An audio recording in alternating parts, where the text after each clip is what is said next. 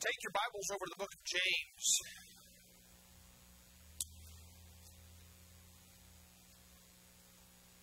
Over the last number of years, I think I've heard this more and more as time has gone on. People telling me that they are or have been diagnosed, so to speak, diagnosed as bipolar. And uh, psychiatrists uh, like labels. They like to put a label on things.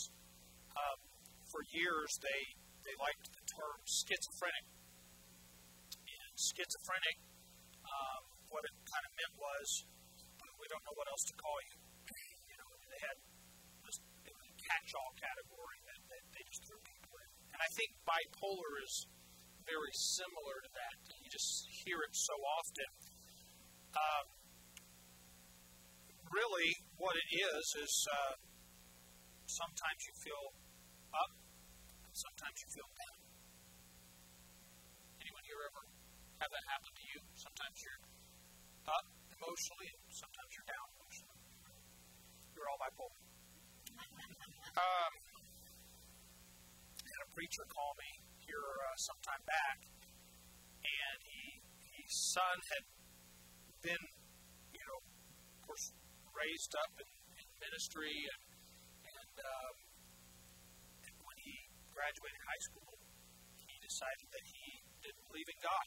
After he left home and then called his dad and said, "I just want you to know I don't believe in God, and uh, I don't all the stuff that we, you uh, made me go to church, made me do this, made me that." It's a pastor, preacher's worst nightmare.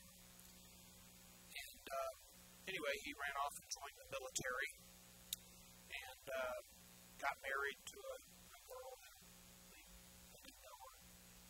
And uh, the military has now, he, he's been in contact with his dad since this, and the military told him his problem is he's bipolar. And uh, of course, he he was never that at home. He just now now he they put him on medication and, and all this type of stuff. And so he called me and he said, I don't know what to do. What what does the Bible say about this bipolar issue? And I've been asked that numerous times and by that point. About the only thing I at that time was able to refer him to was to this idea that we see in the book of James in verse number um, 8 says, A double minded man is unstable in all his ways. And I said, You know, I, I think probably the term bipolar in the Bible is summed up in this concept of being double minded, uh, two, two extremes, okay? And that's what the concept bipolar, uh, you know, two extremes, extremely high, extremely low. And um, as a matter of fact, um, the term bipolar used to be called manic depressive. So if you don't know what bipolar is, maybe you've heard of manic depressive. That used to be the term that they used for this. And so I referred him to that. And then the next day I thought, you know, I wonder kind of what else might be here in the book of James and, and that I could look at and help him with uh, to be able to help his son. And so as I sat down, I read, started reading here in the book of James with the idea of what is the Bible saying here concerning a double minded person, and does it really apply or does it just seem similar? And as I read through the book of James, um, I, I was astounded at what I found in this regard. Um, and I'm, I'm really going to label this not bipolar because that's a secular term that that uh, secular counseling term, a label that they like to put on people. But really, what a person that has extreme up and down emotional conditions wants is emotional stability. And so we're going to address this from that concept of how does a person achieve emotional stability so that their normal the normal flow of emotions and by the way everyone has normal ups and downs nobody is always up or always down there's normal kind of ebb and flow like a wave if you will or a tide of emotion but when we allow ourselves to be drawn into a purely emotional state to where everything in life is just about the tides of emotion, then we, we can get ourselves in a lot of trouble. And so a lot of people have this label hanging around their neck uh, and weighing them down, and, and, it's destroying their life because uh, their thought is, I am mentally ill. I'm mentally, I'm chemically imbalanced. You ever heard that phrase? Here's the truth there is no test that you can take. You can't go to the doctor, get a blood test, uh, you know, uh, any other kind of test to tell you that you're chemically imbalanced. That is a misnomer. You know how they determine psychiatric diagnoses? They have a big convention every year and they vote on what they think a, psych, uh, a mental disorder is. It's, the, it, it's not like cancer where they can say, yeah, we found cancer cells. There is no bipolar cell. Right? There, there, there are all of these things. These are these are diseased by by executive fiat of the psychiatric uh, administration, psychiatric um, uh, association. Community. Yeah. And th- that's why there's more and more and more and more because you don't get paid. Um, you don't get paid from insurance for saying someone's a fraidy cat. You get paid because they have anxiety disorder. You know, uh, and so if you want, it's all about money. And, and, and I hate to say it that way, but it is all about money. It's all about making money. Because during the times of greatest tragedy in the United States, the reality is, is we had strong, much stronger people as a result of tragedy. And now, if somebody's internet Wi-Fi goes down, you know, they have a mental breakdown and they have to be hospitalized and they they're on medication and and uh, all that. And so everyone's looking at the guy in the back, but um, but uh, hopefully we can help him today. All right. Hopefully we can help him today. That was a pass. All right. So. Um, I want you to take your Bible there to James chapter number 1. We're going to read a couple verses. We're going to begin to examine this. And I'm not making light, I'm not trying to minimalize the seriousness of problems that people have. I'm simply trying to say that we live in a culture that has tried to make people that are just our normal emotional condition, our normal emotional condition, into a disease into it uh, so that we are hypersensitive to every little movement. It's like um, it's you know it's like when you're driving your car and uh, you you know you hear something and all of a sudden you start and, you begin to be oversensitive about things and you come up with all kinds of things that might be wrong. Well, the reality is is that God tells us what these emotional tides are and why they are there and how why we experience them. So begin, if you will, in James chapter number one. It says, A servant of God and of the Lord Jesus Christ to the twelve tribes which are scattered abroad, greetings, my brethren, count it all joy when you fall into diverse temptations, knowing this, that the trying of your faith worketh patience. But let patience have her perfect work, that ye may be perfect and entire, wanting nothing. If any of you lack wisdom, let him ask of God that giveth to all men liberally and upbraideth not, and it shall be given him. But let him ask in faith, nothing wavering, for he that wavereth is like a wave of the sea, driven with the wind and tossed. For let not that man think that he shall receive anything of the Lord. A double minded man is unstable in all his ways. So, spiritually, we see a pattern here in the Bible, in the book of James, that will help us to identify the issues of the ups and down feelings that many people do experience. And I want to notice there, verse 2 through verse number 8 in particular, a few things about this description. First of all, the wavering or double minded person, according to the scripture here, goes up and down without control of their own. Now, get the picture that's being presented waves of the sea. Right?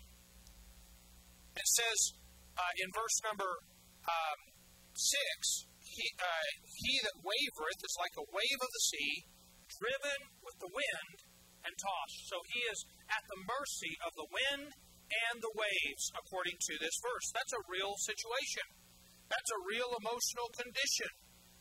And so he's tossed, the Bible says. He doesn't have the ability to achieve stability on his own. If you've ever been in a boat during a storm, you would understand the picture that's used here. You're subject to the movement of the waves. Your, boat, your boat doesn't stay on the same level. Uh, it goes up and down uh, based on the movement of the water. And there's an interesting description that emotionally would seem to uh, have a physical connotation, if you will. Uh, if you consider this, this idea of someone being bipolar, tossed up and down emotionally without the ability to control their emotional condition, and the likening here is of someone tossed up and down physically without the ability to control their physical condition. Right? They're driven and they're tossed, the Bible says. Someone in a boat that goes through this would experience what we call, anyone know? Seasickness. Anyone ever had seasickness before? It's a physical condition results in, resulting from the continual upheaval that you're physically experiencing. A matter of fact, you can take medication to deal with that. Dramamine, right? Or you can wear those Sea-Band uh, wristbands or put that little dot behind your ear or whatever. I think that's also Dramamine something like that, right? No, you can't do that. It's a chemical. I know. That's what I'm saying. It's a medication. There's medications that you can take. Um, but but really, the cure, the cure for seasickness is smooth water or land, right? Getting out of the boat. That's the cure. All right. Um, now, in this, in a sense, that's kind of what happens with this issue of bipolar because here's what happens a person's emotionally up and down, up and down, up and down. So, guess what? The doctor gives them medication. And if it's real severe, the doctor says, let's take you out of your environment and put you in this hospital. And you're isolated from the, the, the situations in life that are causing your turmoil. And so they do basically the same thing to treat bipolar that they do to treat seasickness. They medicate and isolate or remove in both situations. Now, it's important to, to uh, see a correlation here because the Bible's giving us this idea of someone who is emotionally unstable and is making this the comparison or the example, if you will. So, the secular approach is very similar to what you might treat this physical issue with. Now, let's turn our attention here, though, to what causes a person's life to be driven in such a way as to create these ups and downs that we are looking at emotionally. In the text, we reference uh, we reference here in James, we see two driving factors. Does anyone notice them? Temptation and trials. Did you notice those? Temptation and trials. All right, verse 2. Count it all joy when you fall into diverse temptations, knowing this that the trying of your faith worketh patience. Right? Uh, so temptation and trials. And we're going to notice those again, looking down in verse number 12. It says, Blessed is the man that endureth temptation, for when he is tried, he shall receive a crown of life, which the Lord hath promised to them that love him. Verse 13 Let no man say when he is tempted, I am tempted of God, for God cannot be tempted with evil, neither tempteth he any man. But every man is tempted when he's drawn away of his own lust and enticed. And, uh, and, and all through the scriptures here, we're going to see that, that relationship between temptation and trials here in the book of James. Now, each of these work in a slightly different fashion. Temptation, and we'll notice this more as we go along, is an upward drive to the flesh. Temptation says, I can have, I can achieve, I can be. And it's a drawing to the flesh upward, to the lusts upward toward embracing a sinful thing. Okay? And so temptation moves the emotions up. When you're tempted, there's an exhilaration that comes chemically in your body, emotionally in your heart, and, and your mind is drawn about the possibility that is embraced in that temptation or seen in that temptation. On the other hand, trials are a downward driving force.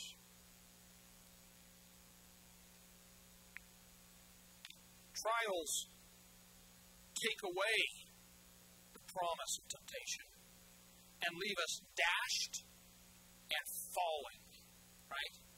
Because of these horrible trials and problems that we are experiencing. Temptations are the attempt to draw us away from our beliefs by enticing our lusts, and trials are the attempt to investigate the validity and certainty of our beliefs. Now, that's very important. We're going to notice this continuation of thought throughout this passage, throughout this book. But both of these, both temptations and trials, are given to prove us. To prove us. They are given to determine whether or not what we have is genuine and real. As a matter of fact, when you look through um, these this ver- this uh, chapter, what you find is that, that God talks about in chapter number two, and we're going to get into this in just a moment, but he talks about this issue of real faith versus fake, fake faith. Right? That's chapter number two. What's real? If, if you have real faith, brethren, then it's not just words, there are actions that come along with it. Yeah, real faith is important. And so he begins in chapter 1 talking about this, this conflict that we face between trials and temptations and how they're constantly putting us in upheaval. But the purpose of these things is to determine what is genuine and real in our lives. Now, notice this in verse number 17, uh, verse 16. He gets done talking about t- temptation and lust and so forth. He says in verse 16, Do not err, my beloved brethren. Every good gift and every perfect gift is from above and cometh down from the Father of lights, with whom is no variableness, neither shadow of turning. Now, every good gift and every perfect gift. That's an interesting statement. Good gifts teach us what is good by enduring temptation. Temptation is a, a fake goodness, isn't it? We think it's going to be good, but when we embrace it, we find out it was rotten. What we learn is that by enduring temptation, we find what is genuinely good. It's a good gift to endure temptation. A perfect gift comes from enduring trial. Because as we as we endure trials, it perfects us. So we learn what is genuinely good by enduring temptation. We learn what was what is genuinely perfect by enduring trials, and God puts both of these things in our life. God does not tempt us, but He allows temptation in our life. He allows trial in our life because these two things are what teach us what is good and what is perfect, and they reveal what is real in our hearts and in our lives. The scriptures are interesting here in verse number 9 through 11 concerning this fact that temptation and trials work in opposite ways to, to uh, examine us or to expose us, if you will. In verse number 9, it says, Let the brother of low degree rejoice in that he is exalted, but the rich in that he is made low, because as the flower of the grass he shall pass away. For the sun is no sooner risen with a burning heat, but it withereth the grass, and the flower thereof faileth, uh, falleth, and the grace and the fashion of it perisheth so also shall the rich man fade away in his ways. Notice that in both of these instances, there is a movement. In the first, from that which is low to an exalted position, and in the second, from that which is high to a depressed position. Temptation is that upswing, and trials are the down.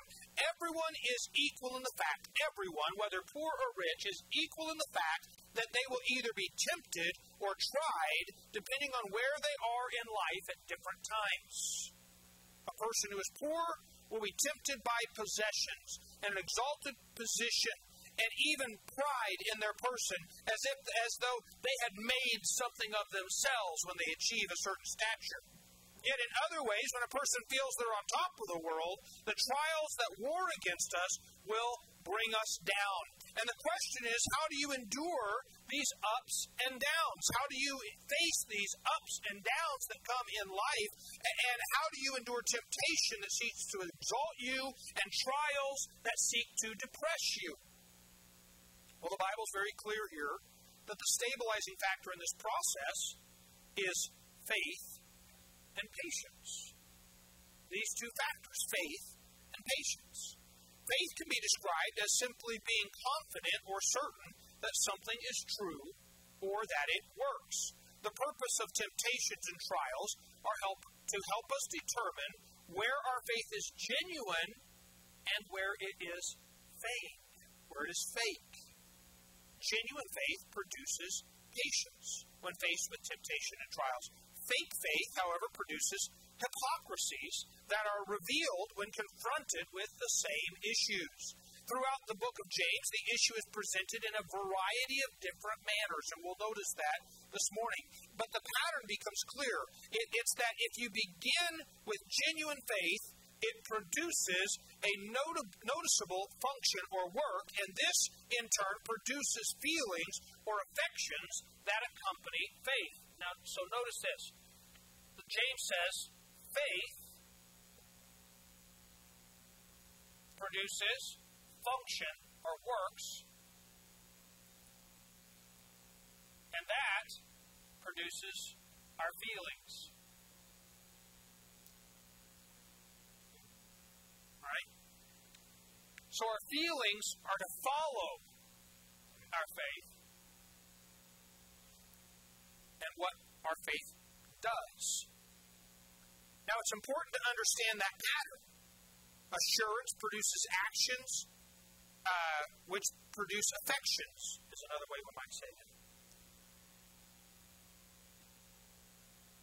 Faith produces function, which produces feelings. That's the proper view of life as seen in the book of James.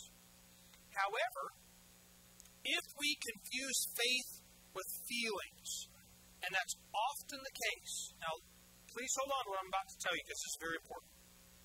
If we're looking for a feeling instead of basing our belief upon certain confidence, it will not achieve the same result. Because faith, uh, because feelings, I'm sorry, that produce our functions will produce frustration. Right? This is a far different issue. If feelings produce our functions, it produces frustration.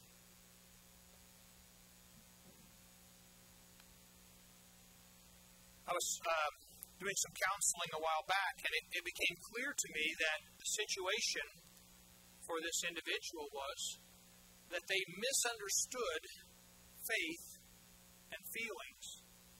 And their entire spiritual life was the idea that they didn't have great faith because they were missing the feeling. And so what they were pursuing was this feeling, this emotional sensation. And so they were doing things to serve God, but they were doing them in the pursuit of feeling as if this feeling was faith.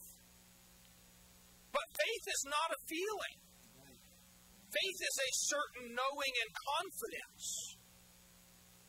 And when we have a certain knowing and confidence, it motivates our activity that we can be that a feeling can be produced in us certainly but if our pursuit is of the feeling then we're never going to have that that that satisfaction because we're always going to be pursuing it and we're going to be frustrated in the Christian life constantly the result of that then is that we are filled with hypocrisies, trying to cover up those those places that are rotten, those places that aren't right, that aren't filled with faith, because whatsoever is not of faith is sin. So we're trying to constantly cover up that area that's not right to compensate so we can pursue the feelings that we want instead of just living by faith in the now and now, in facing the temptations and trials, but because a person in this condition is driven by their feelings, in pursuit of a feeling, they're more prone to temptation. Because they want a feeling. That's what they're all after.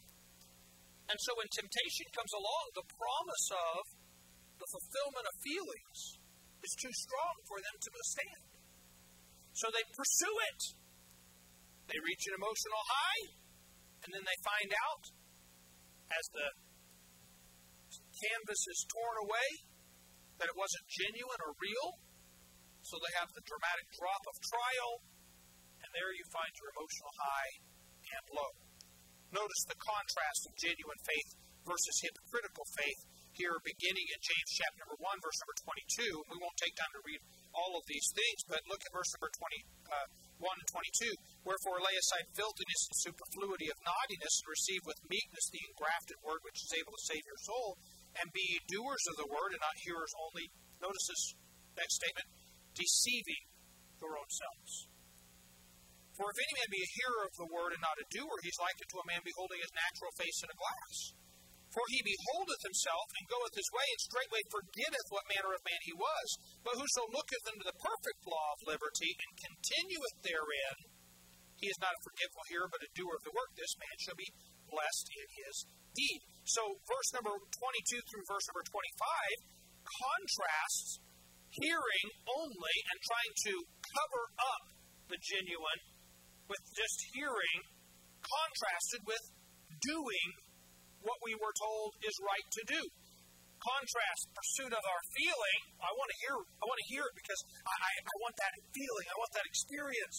Versus, so the Bible says to do this. Okay, I'm going to do it by faith.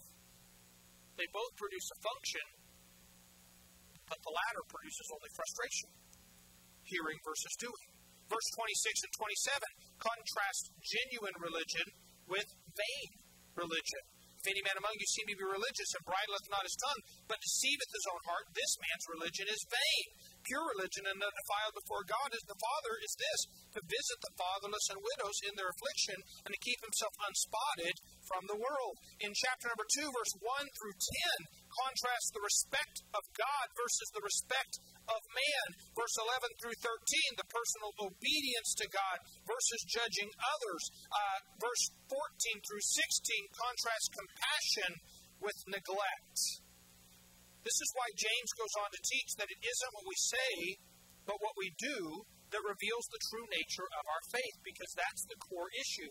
Our confidence. Notice this st- stable line. You know what we could call this? Confidence, stability.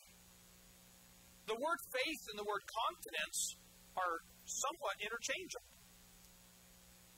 Um, genuine faith produces works that are revealed in their nature, but fake faith, one that is in word only when faced with temptation and trials, will be evidenced by the error that it produces, and it will crumble when it's confronted. And that's why James spells it out in this fashion in chapter 2, verse 17 through 26. Notice with me here. Even so, faith, if it hath not works, is dead being alone. Yea, a man may say, that's a key word, say thou hast faith, and I have works. Show me thy faith without thy works.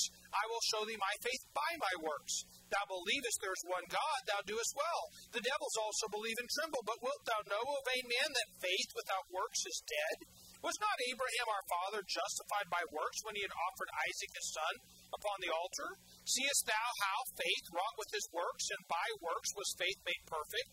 And the scripture was fulfilled, which saith, Abraham believed God, and it was count, imputed unto him for righteousness. And he was called the friend of God. You see how that by works a man is justified and not by faith only? Likewise, also was not Rahab the harlot justified by works when she had received the messengers and had sent them out another way? For as the body without the spirit is dead, so faith without works is dead also. So, since genuine faith is the force that produces stability in our lives, what is it that this faith must be based in? Now, for the person who's not trusting in God, They may place their confidence or their faith in their own abilities. They may place that in certain loved ones. They may put it in their career or some other life factor that they've chosen. There's somewhere that they put their confidence. Maybe it's their education. Maybe it's that buddy they grew up with. Maybe it's the economy or, or something foolish like that. But when their confidence in this factor is shaken, then their stabilizing force is removed. A person can seem stable and normal for years and years because somewhere their confidence is placed in something that hasn't been shaken yet. But once that confidence is shaken, once that confidence is removed, all of a sudden they're unmoored emotionally. And now they're prone to these ups and downs of emotion where before they were seemingly stable.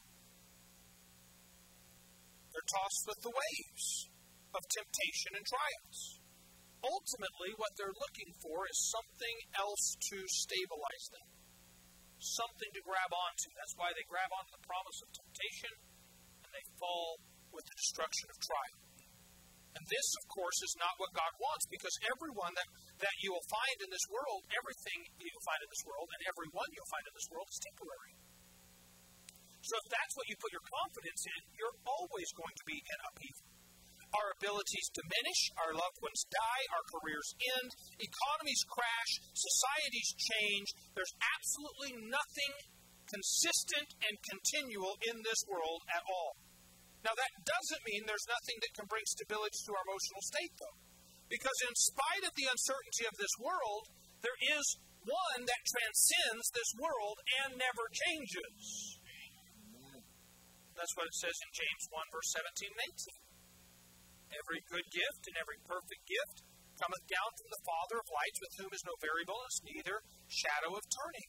For of his will begat us, with the word of truth, that we should be the kind of first fruits of his creature. Remember what I said?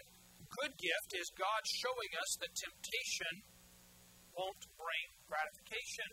Perfect gift is God showing us that even in trials, we can trust him. And he removes the facade, the fakeness. And I realize that he alone is the stabilizing factor in this world. God isn't driven by the issues of the world. He's consistent. He never changes. We're reminded of that truth in the last book of the Old Testament, right before the Bible goes silent for 400 years. It says in Micah 3, verse number 6, I am the Lord, I change not. Therefore, ye sons of Jacob are not consumed.